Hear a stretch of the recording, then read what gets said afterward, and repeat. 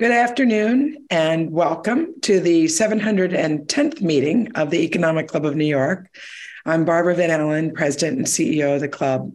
The Economic Club of New York is recognized as the nation's leading nonpartisan forum for discussions on economic, social, and political issues. We've had more than 1,000 prominent guest speakers appearing before the club over the last century and have a strong tradition of excellence, which continues up to today. I want to extend a very warm welcome to students from the NYU Stern School of Business, George Washington University, and the Gabelli School of Business at Fordham, who are joining us virtually today, as well as some members of our largest ever class of 2023 fellows, a select group of diverse, rising next gen business thought leaders. Today, as part of our author series, I'm pleased to welcome our special guest, Sally Susman.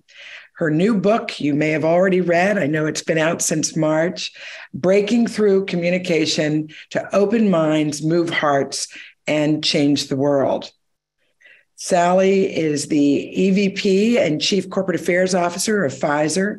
She leads engagement with all the external stakeholders, overseeing communications, corporate responsibility, global policy, government relations, patient advocacy, and investor relations. She also serves as the vice chair of the Pfizer Foundation. Before joining Pfizer in 2007, Sally held several senior communications and government relation roles at the Estee Lauder Companies and American Express. Earlier in her career, she spent eight years on Capitol Hill, focused on international trade issues, and was Deputy Assistant Secretary for Legislative Affairs in the Clinton administration. Currently, she's co chair of the International Rescue Committee, one of the world's largest humanitarian aid organizations, and on the board of UL Solutions, a global leader in applied safety science. In 2022, Forbes named Sally one of the world's most influential chief marketing officers for Pfizer's efforts to combat vaccine misinformation and embrace communication channels. Today's discussion will be in the form of fireside chat, and we are delighted to have club trustee and founder of Girls Who Code and Moms First, Reshma Saujani, doing the honors of moderating. As a reminder, the conversation is on the record, and we do have media on the line. Time permitting, we'll take audience questions via the chat box. And Reshma, if you're ready, the mic is yours.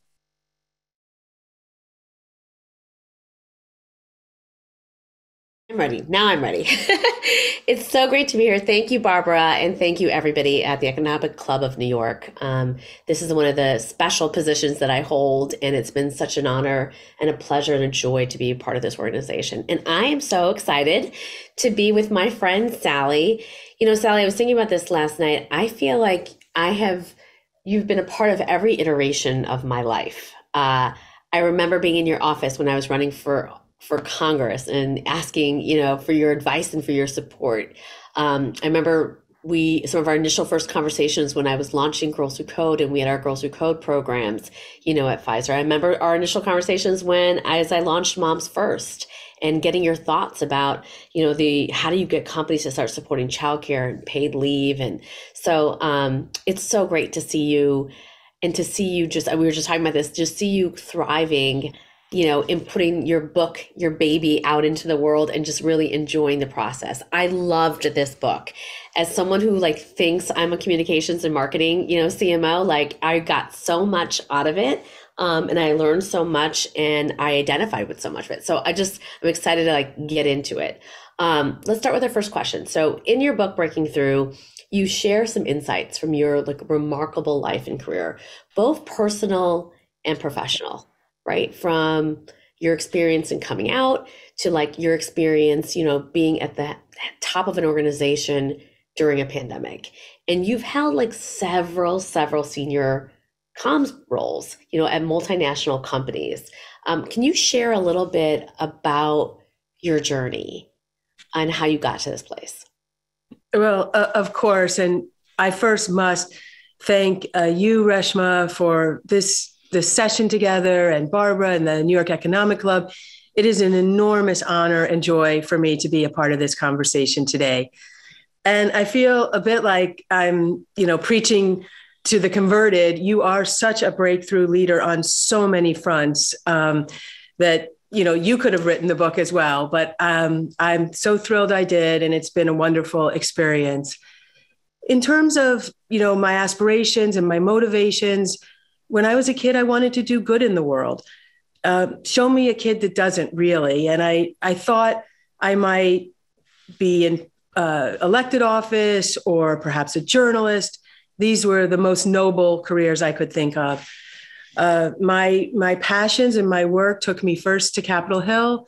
I also, as Barbara mentioned, spent a little time in the Clinton administration, but have made the most of my career in business because I have a theory. It's my operating theory that strong companies, and I've had the, the pleasure to work in three American Express, Estee Lauder, Pfizer, three great New York headquartered companies, have real platforms for good in society. And it is a part of their mission uh, to reward their shareholders, but to also delight their stakeholders. And so that is why I have made my, my life in business and spent more than the last 15 years at Pfizer. So do you think like throughout time, like we've we've had kind of a lot of ebbs and flows in how the world thinks about business. Are they good? Are they evil? Are they bad? Are they okay? Like, how have you seen that narrative change? And, you know, what have you kind of learned about from a messaging perspective? We're going to get into like COVID and Pfizer and the vaccine about, you know, big pharma, right? And shifting the narrative there. But like, what have you seen just generally, you know, over the past few decades in our kind of love hate relationship with business? Yes. Um, certainly I have seen the pendulum swing back and forth. There is a lot of cynicism and skepticism towards big business, a, a lot from young people. And I know you talk to young people a lot. So maybe one day we'll dive into why that is. But um, as much as the pendulum swings, I still believe the overall progression is towards business being a force for good. You'll remember a couple years back, the Business Roundtable said it's not just about those shareholders, it's other important stakeholders. And then a lot of companies signed up, including Pfizer, to be a part of their, you know, their new narrative for companies. Um, and then there's the woke, anti woke uh, debate that goes on about how companies should be in the world. And I feel it's very important that companies engage from their values, not from their politics. Mm-hmm. I don't believe companies are political creatures or institutions, but they do have deep values. Pfizer has four courage, excellence, equity, and joy. And they're very much a part of you know how we work, what we talk about, and where we decide to weigh in on the public debate. So, yes, pendulum is swinging back and forth, but overall, you know, I think this bends towards more active, more engaged companies. Yeah, I love the distinction between politics and values because I think some people have overcorrected, like, oh, I, I, we're not, you know, talking about anything. And that's not the answer either. It's like, what do you believe in? What do you stand for? How does your employees actually connect to that? So, you know, you've been honing and perfecting your communication skills right your whole life right and you say that communications is often mistaken as a soft skill when it is a rock hard competency um, i was thinking about this as i you know gave the smith commencement speech and uh, we were just it's gone viral you know 4 million people have watched it and 4 million people have watched a 16 minute speech and you know i spent months practicing my delivery sitting in this bedroom right here, walking back and forth, figuring out right the intonation of every line, like how it was going to hit. People often think like when you give a speech or a talk, you can just you write it and then you just deliver it. No, it is this. It is a rock hard competency. You know, so tell me, tell me, tell me about that. Like, when did you discover this, and how have you, as you have prepared leaders, right? uh, whether it's for an interview or whether it is for a big speech, how have you kind of got drilled that in their brains, right? That this right. is something you can wink This is something that is actually um, takes practice. Well, I've studied leaders. I've worked for nine CEOs in my career, as well as some cabinet secretaries and senators. And they're all really smart, they're hardworking, they're driven. You know, you don't land in those positions by accident, you get there because you worked hard. But among all of them, a few of them, a precious few of them, break through. By that, I mean they are deemed visionary. They make epic paradigm shifting changes. And those three that come immediately to my mind are Ken Chenault in his handling after 9 11, Leonard Lauder and the growing of his business from his mom's bathtub to a multi billion dollar company, and Albert Bourla as his leadership that brought a vaccine forward in record time. The three of them, along with other people that I cite in the book, um, they are the ones who knew that communications was as important to their success as finance, manufacturing, you know, any other discipline, and they prioritized it. And so that's why um, the central argument of my book is what you said that if you want to change the world and open minds and move hearts, then you need to know that communications is a rock hard competency and not dismiss it as an afterthought or a soft skill. But I do want to say a word about your commencement address because um, before we started live here, I, I, came on and told you that I think it was the best commencement address of the season. Um, I watched it. it. It had many of the principles that I advocate for. Um, it was courageous. It was intentional. But the the number one thing that you achieved in that is something I call pitch, and pitch is not the elevator pitch. It's not a cold call to a journalist. I try to think about pitch as something much deeper and more profound, more subtle and more nuanced. And it's a tone, it's a quality, it's a connection.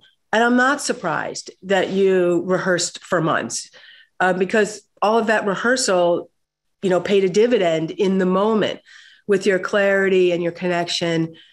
You know, it, it was just really beautiful. And if anyone hasn't watched it, I really encourage you to do so. I love that. I, I love that idea of like tone and pitch. Um, and I do think preparation made me feel comfortable to just feel it. Then when mm-hmm. you're when you're in the moment, right? And it is about like knowing your audience and like figuring out how we connect. Um, I want to go back to 2020. COVID's turning the world upside down, right? You you write about how you're like in this bodega, you're terrified, like all the shelves are like all the all the food's missing, you're terrified, right? You're talking to your colleague who I think is in China, right? There's like you you you feel that something bad is happening or about to happen, right? The world is disruption, you know, there's chaos, we're in a divisive political environment, right? There's there's pretty much no public trust towards our healthcare system, right? How do you navigate this environment? And the other thing I want to know is like, how do you navigate it as a person? Because you're a mom, right? You have, yes. you are, you are, you know, have someone, you know, you're married to someone you love, right? You have a family, right? You have people you love. The world is, is literally, we do not know if it is the end of the world. And so you also have to navigate your own fear and your own feelings with what you need to do for the world. Like, how do you do that? Great question. I love the way you phrased it. Um, and I will chat about how we responded from a corporate perspective and then how I responded from a personal perspective. But let's just take a moment together here and go back to March of 2020. And I was really scared walking home in New York City and the shelves are thinning out. I can hear the thrum of the refrigerated trucks that were doubling as morgues outside hospitals. And uh, Albert Bourla, the CEO of Pfizer, my boss, had flown to Greece to give a speech. And by the time he landed, the conference had shut down for COVID. So he had to turn around and come back to New York. And he wrote on a small piece of paper that we still have here at the company the three things that he had to do take care of our 85,000 employees, make sure that the steady stream of medicine continued to flow around the world because terrible diseases like cancer and Alzheimer's didn't go on holiday during the pandemic. And three, that he would bring a vaccine forward by the end of the year. And, you know, it sounded like a crazy idea, Uh, but then he did something I've never seen another CEO do for such an epic task. He looked around for a project manager and appointed himself. And that's when I thought, hmm, okay, maybe we are going to do this thing. And he set about very intentionally bringing forward the vaccine. I decided I needed an equally bold intention. And that alongside what we were doing with the vaccine, I would try to transform the trust and reputation for a big pharma company, which is why I came here 16 years ago from Estee Lauder, because I thought this company makes life saving medicine, and yet they have a low reputation, you know, down by tobacco and, and other things that just didn't seem right to me. And I had been banging my head against that challenge for over a decade, making hardly any progress. But the pandemic meant that the whole world was watching and they needed this vaccine. And I felt it would be tragic if we create a vaccine that no one had the confidence to take. Now, of course, in the end, it was more polarized and political than we had wanted it to be. But 85% of this country got vaccinated, and people around the world got vaccinated. And today, Pfizer is a top 10 global brand for the last two years, according to Fortune magazine. So there was a scientific transformation, mRNA technology used for the first time that will mean the world will discover drugs differently. There was a communication transformation for the company. And there was a personal transformation for me, Reshma, because I'd been writing for years. Um, you know, if you ask me how long did it take to write this book, I would say about four decades. I'd been thinking about it, but in the cauldron of the pandemic and all that pressure, um, it was clarifying. And I wrote the book actually rather quickly during the pandemic. And, you know, it just really was um, a great experience to be socially distanced and focused and quieter and not traveling and going to business dinners and busy all the time. And the combination of, of the pressure and the peacefulness of, of the quiet is was very transformative for me as a person. So, because at this moment it could have gone the other way, right? Like it could it could have gone. We could have had even more distrust towards big pharma. Um, you know, how, what do you think? Why didn't that happen? And and, and, I, and the next question I want to ask you is like you invited a film crew to kind of document, right? The yeah. The you know uh, the developing of the vaccine. So that was like a nod towards transparency, right, and openness, and kind of letting people in. Um, how did you like? What were some of the tools and tactics that you were thinking in bringing in trust? Uh, not just strategically like the film, but like just from an ethos perspective too. Yes, um, I knew we couldn't use any old playbook. You know, the tried and true methods were not going to be enough, and we took some very bold steps. Um, for example, our clinical trial protocols. These are um, our intellectual property, they're uh, scientific secrets on, on how we produce these things, competitive assets. Together with our scientists, we decided to put those on our website because we didn't have time to debate these things. Yeah. You know, instead of uh, filling a clinical trial in years, the team said they could fill it in months. The boss said fill it in weeks you know so we were just having to crush these time frames and taking things that were not worth fighting about and putting them on the website was one way another is the thing that you mentioned which is i decided to embed um, a documentary film crew from national geographic because they have scientific cred and the wall street journal alongside us because i knew that when if and when we succeeded we would need all of this narrative. And frankly, if we had failed, the world would have bigger problems than a bad news cycle for Pfizer. So, you know, sort of took an unprecedented risk. Um, you literally was, had a reporter embedded inside with like, like, wow. Yeah, a film crew and reporters that, you know, were talking to us all the time. We had to keep our labs and our manufacturing plants aseptic clean The other people they spoke to, you know, remotely like the rest of us, but they were all in it with us. The the movie exists today on YouTube. It's called Mission Possible, and um, the day at, we we found out on a Sunday that the vaccine worked, and on a Monday, the next day, the Wall Street Journal dropped five full pages. The headline was Pfizer's vaccine, crazy deadlines, and a pushy CEO.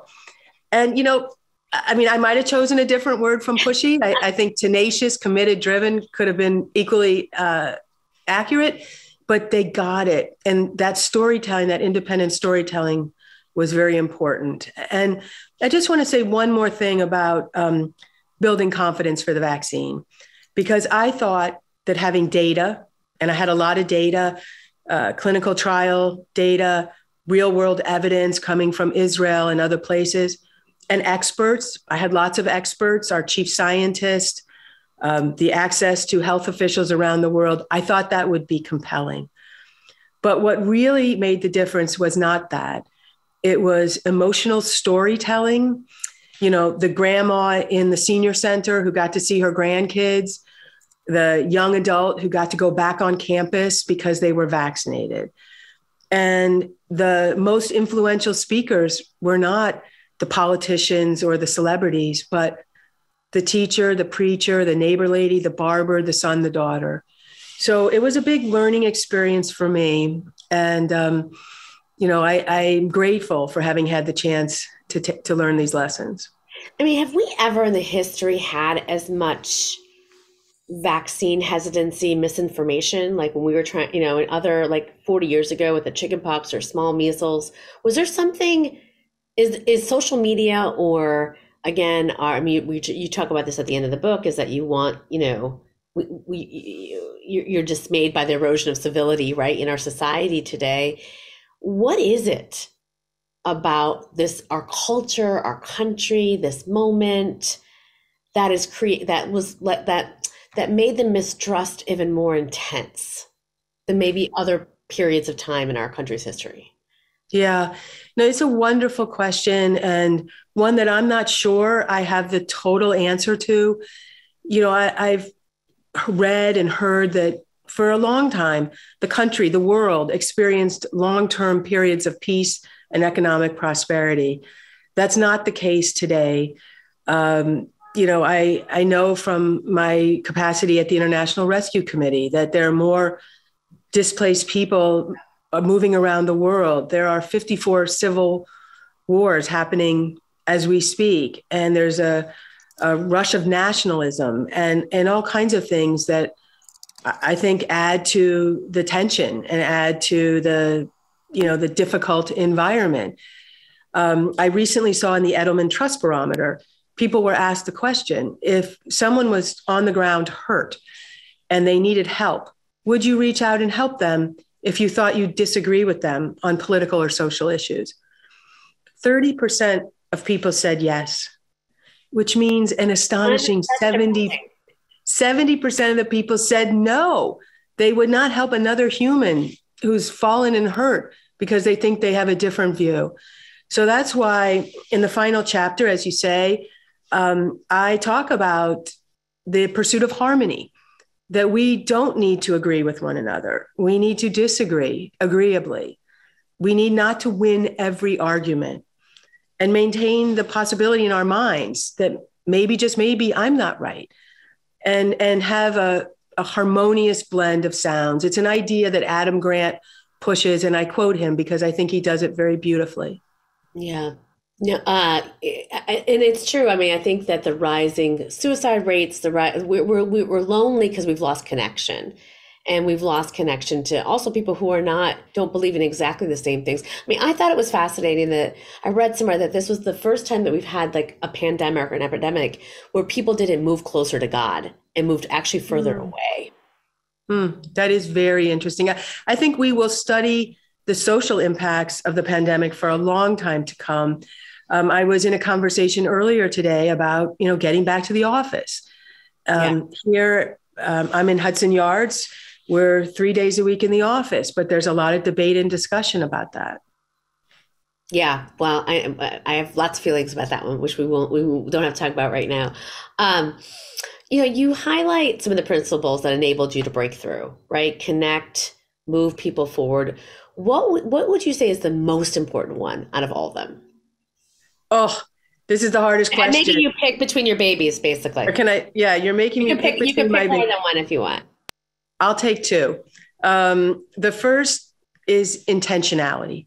Um, you know, I mentioned Albert's intention, my intention, but now that we're past the emergency phase of the pandemic, I'm trying to hold on to that intentionality. So, for example, before I speak with my parents, I say to myself, Sally, be patient. Before I speak to my adult, young adult daughter, I say, Sally, don't be judgmental. Listen. Before our conversation today, I took a moment to, to pause and to prepare and to think about what did I want to leave your listeners with uh, as a set of insights and feelings. And I feel because of multitasking and, and multiple uh, pressures, people are not intentional in their communications. They just power through them. So that's one. Um, we've talked about pitch, which is, which is another favorite of mine, um, as is harmony. But the other is the courage to be candid. Um, you know, and in the book, I, I tell my coming out story here. It was 40 years ago, which is like 100 years in gay life. Um, I think now, for especially some of the younger students that are listening, they might think, ho hum, who cares? But back in the mid early 80s, uh, we were in the middle of an AIDS epidemic. Most gay people were still living in the closet or on the margins. And, um, you know, coming out to, to my family and hearing their fears for whether I would have a spouse, a child, a career, uh, their, their understandable parental anxiety of the time transformed into a life plan for me. And I'm grateful for the candor of that moment to parse what was truly important. And if I, my total life plan at that moment became if I have only three things, those were the three things I want. And as you kindly mentioned, I have a wonderful wife of 35 years, a beautiful, brilliant 29 year old daughter, and work I'm really proud of. But it requires candor. And this is why I'm always saying to people, please, if you fear, if you have an apology that you need to extend, but you're afraid the hurt is too deep, make the apology. If you have a love letter in your draft file that you're afraid to send because you fear rejection, send it because these things are truly what make for breakthroughs. Yeah. I love that. I love that about your point about intentionality and like because I think far too often with communication, sometimes we just do it to just do it and get it done with and over with. Mm-hmm.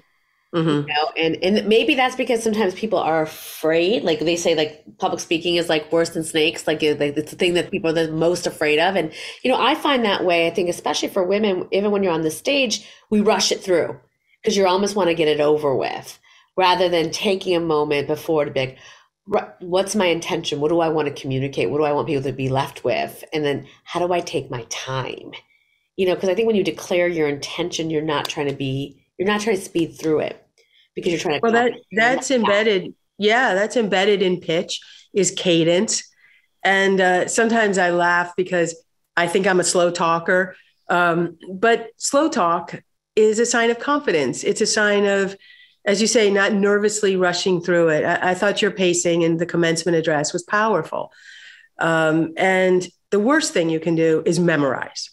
Okay, and I I used to have a, a guy who was in the office next to me, and poor thing, I heard him memorizing speech after speech after speech.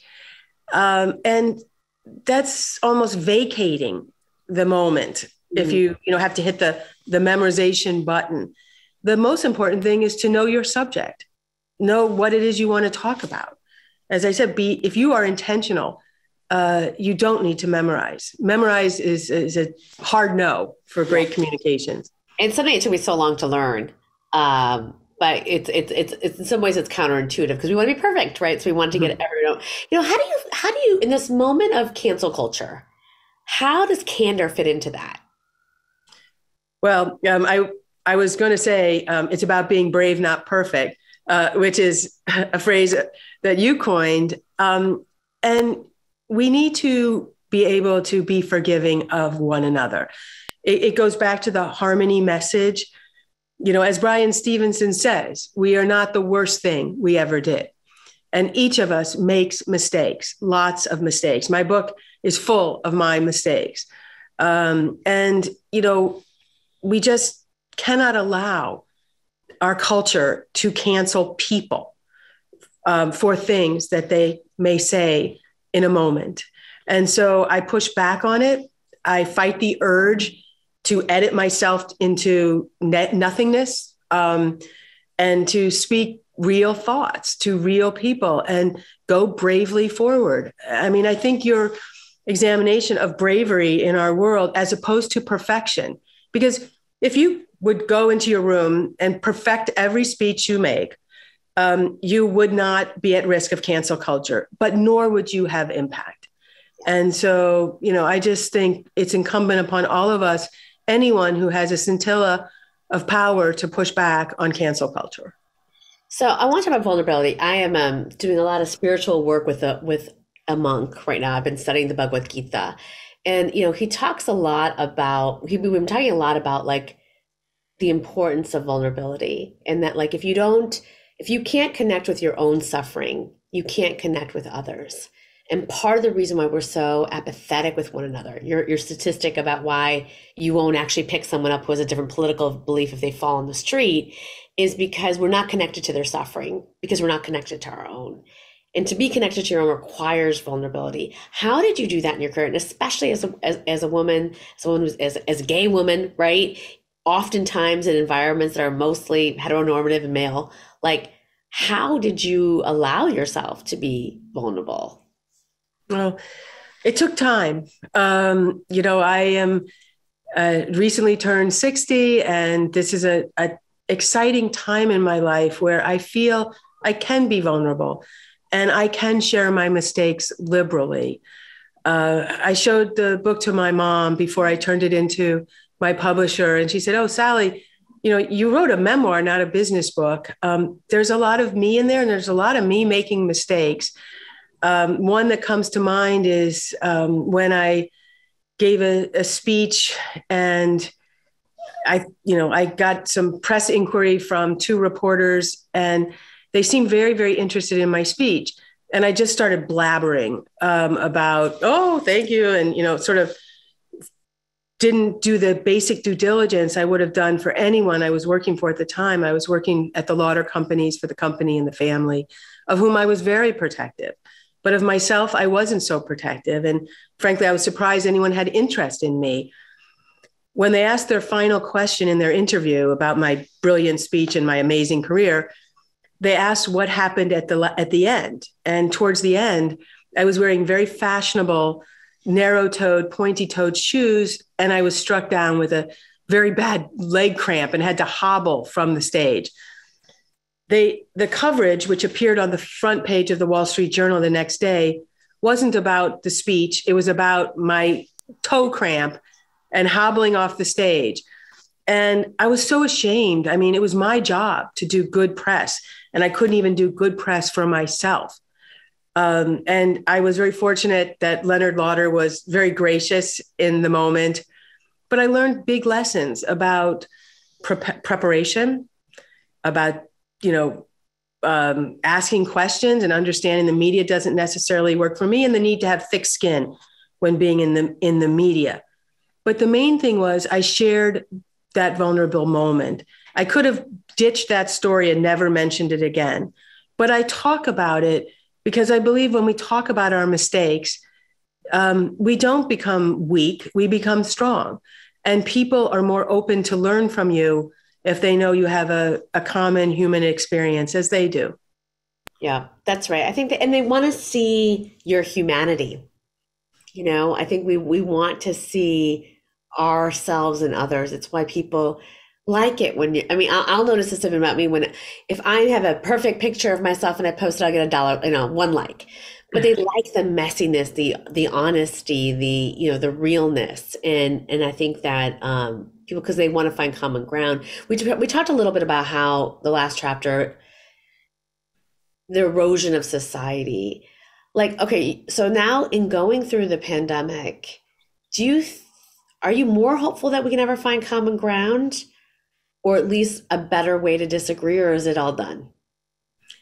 Well, I'm a Midwesterner. Okay, so I'm hopeful. Like, yes, yes, I'm very hopeful and, and I'm an optimist in my spirit. It also comes from working around scientists. I'm not a scientist, but I have the great joy to work with um, scientists who always are questioning the status quo and investing their entire lives in a better future. So, you know, I am an optimist. I find ways to be optimistic. So, uh, I'm going to put my dollar down that we're going to move towards a better future.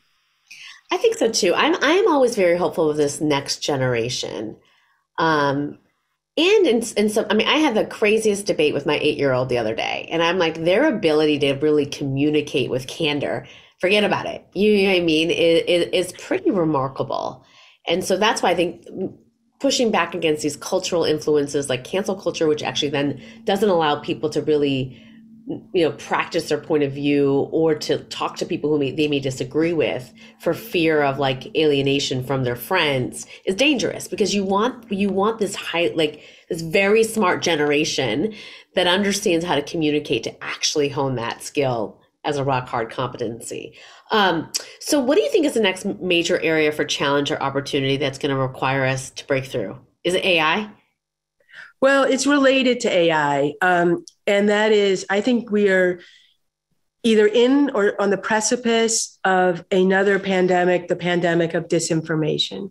Mm. Um, yes, AI, uh, you know, I'm, I'm approaching it with that optimistic spirit we just discussed and thinking that it will do many good things, especially in healthcare. I think it can really continue the technology and AI in particular will really transform the future of healthcare and drug discovery. And we're leaning into it, investing into it here at the company. But for the work that I do, Reshma, uh, the storytelling, the, the need for truth, creative content, originality, uh, I'm a little worried. And I would love to work with others to prioritize an intentional effort uh, to make sure that we don't let disinformation spin out of control.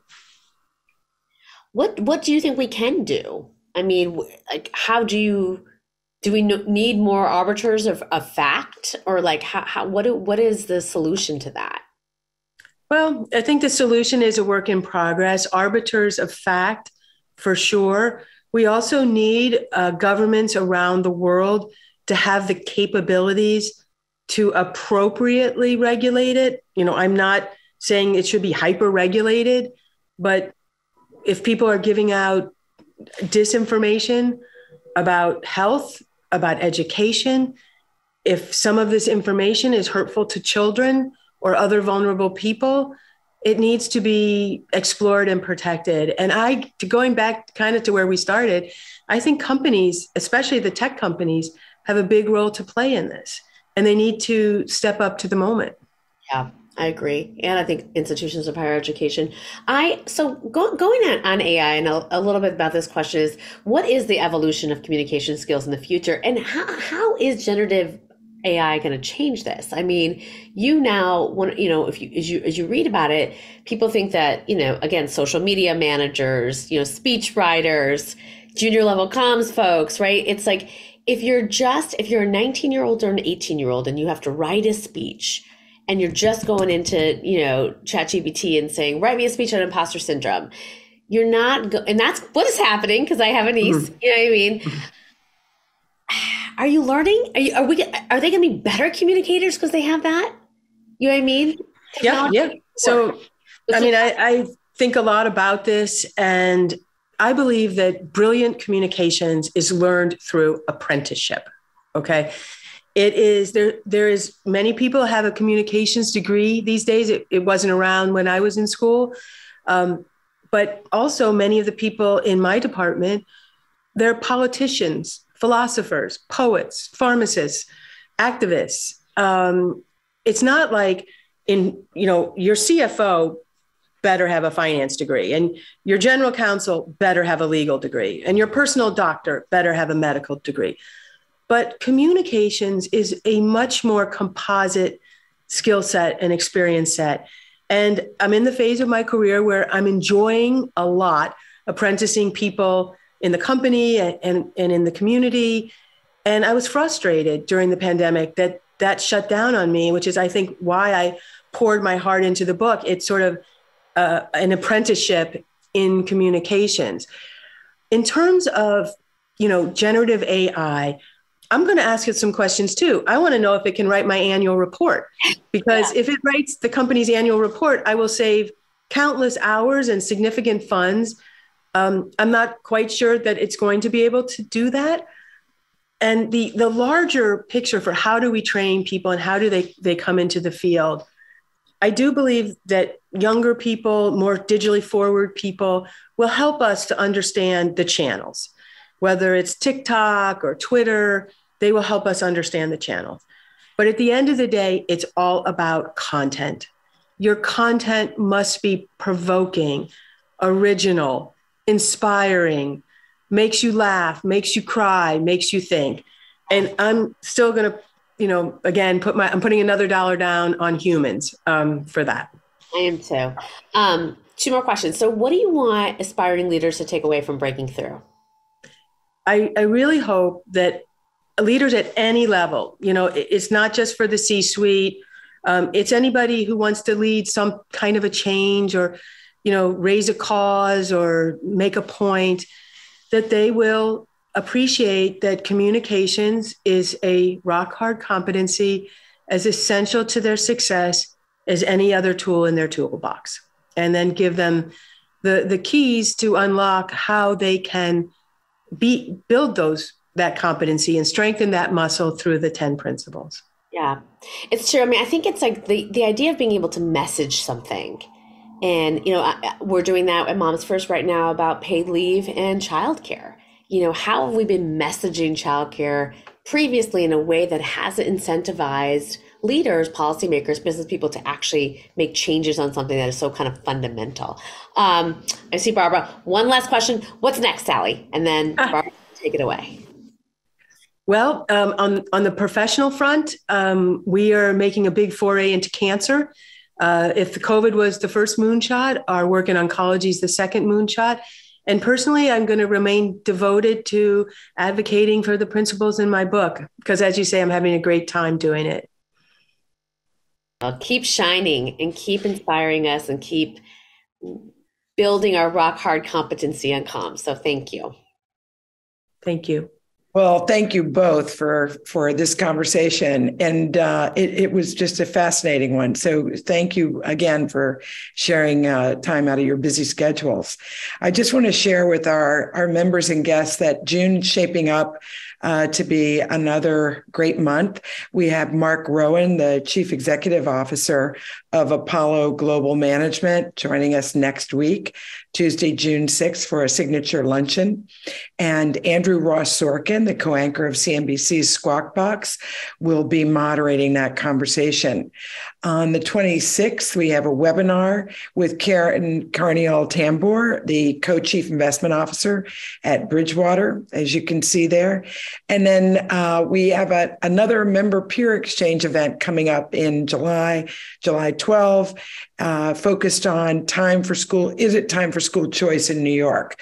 And that will be hosted by club member Stephen Looney uh, again on July 12. We are still filling in more events, so keep stay tuned to our website.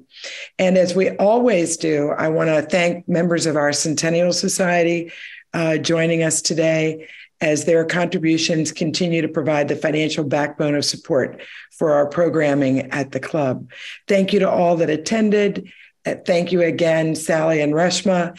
And I hope everyone has a great rest of the day.